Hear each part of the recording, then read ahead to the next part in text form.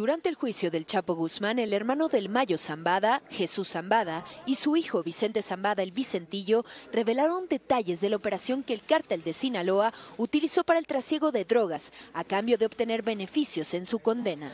En el caso de Vicentillo Zambada, pues uh, hicieron un trato con él si él declaraba contra de Chapo Guzmán. Noticias Telemundo tuvo acceso a su testimonio en el juicio del Chapo, en donde, al ser cuestionado sobre si el gobierno de Estados Unidos le ofreció beneficios por su cooperación, admitió que uno de estos fue la ayuda para trasladar a su familia de México a Estados Unidos. Eso es una táctica que usan los fiscales federales para atrapar a peces más grandes. En la transcripción, Jesús Zambada confirma que su hermano y el Chapo Guzmán eran socios y que él sabía de las rutas que utilizaban para cruzar drogas hacia Estados Unidos.